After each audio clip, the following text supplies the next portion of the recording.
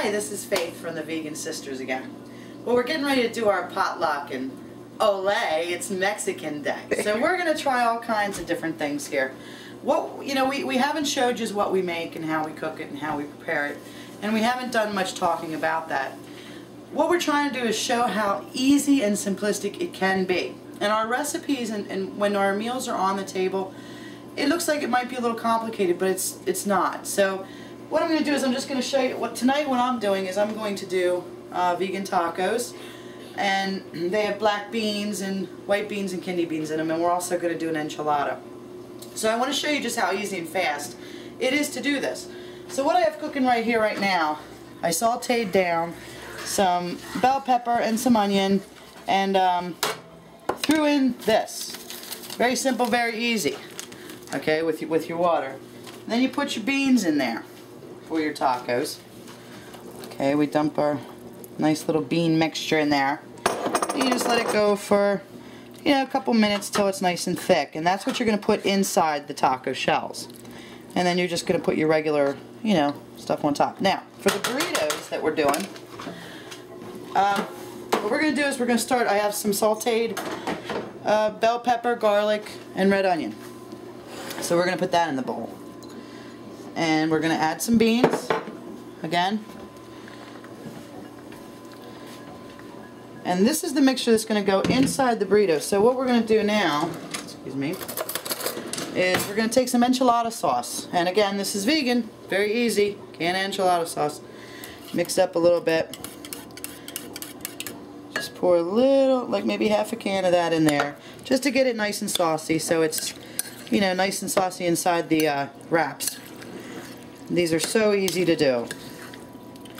And you want to take a little bit of olive oil and put it on the bottom of your pan so your your enchiladas don't stick. Or your burritos. I don't know what these are called. What are these called? Burritos or enchiladas? Burritos. Okay. I couldn't get the uh, tin opener. Okay. Martin. Alright. Um, these recipes that I do, okay, uh, I never really go by a recipe book. What I do is I just, you know, once a good cook, always a good cook. I was a good cook when I was a carnivore. okay, so uh, you just kind of work with what you know tastes good. And you figure out things just like this. You know, when you put this on a taco shell with your lettuce and your tomato and your onions, you don't miss the meat. I mean, there's enough texture in there and you kind of go crazy on the filling, which is really good. But you don't have to really go buy crazy, you know, recipe books and stuff. They help, they help, but for the most part, I think most people, you know, you know what tastes good. And you, if you work with the things that you're most familiar with, the transition won't be hard. You won't see me doing tofu. You won't see me doing seitan.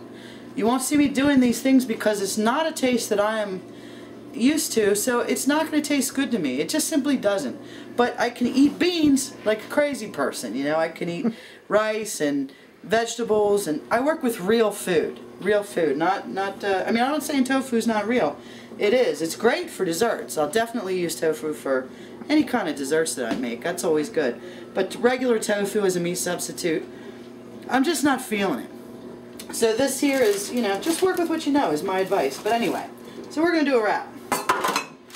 Not a wrap, but a burrito or just call it Faith's whatever. okay. Enchilada, Yeah. burrito, whatever. So we put our little enchilada mix in there.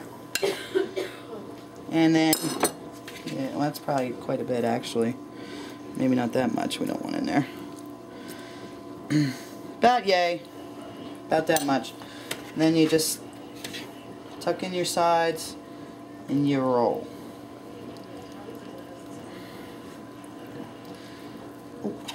Alright.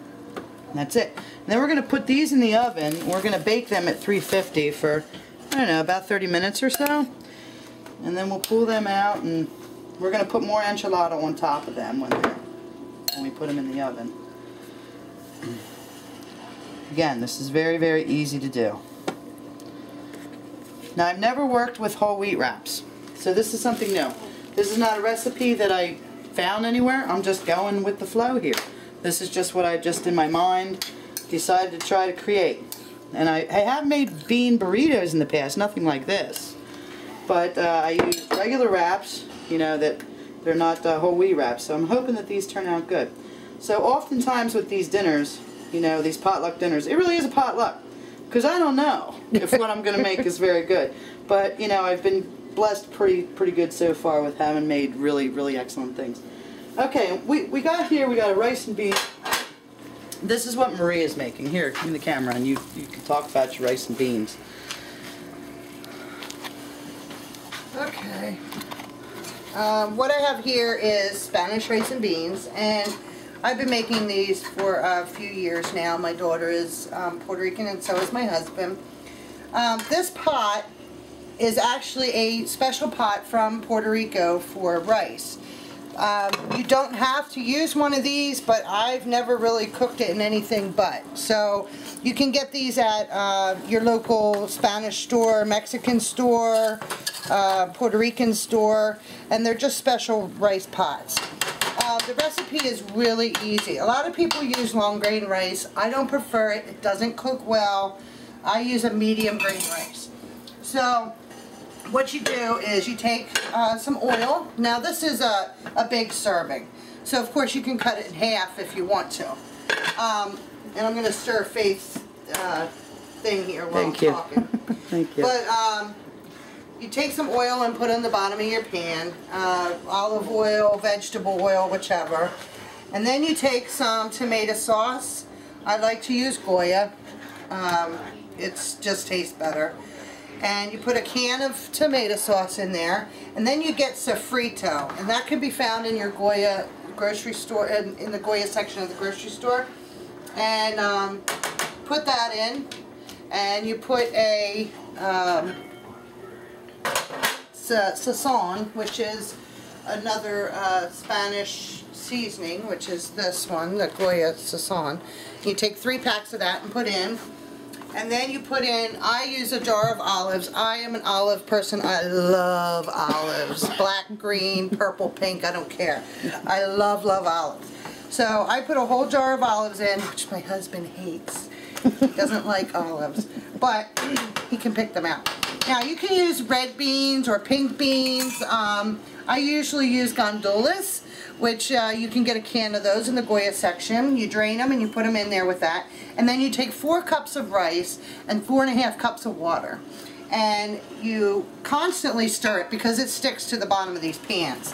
And if you ask um, anybody else that makes this, they say don't touch it, but I do. This is the secret to it not sticking and burning on the bottom.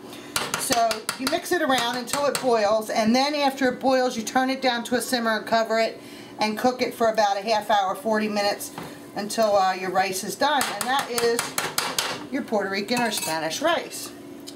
Um, I also made a black bean guacamole today and a citrus salsa, which we'll try at dinner. I'm not thrilled about the salsa only because mangoes are so hard to cut up.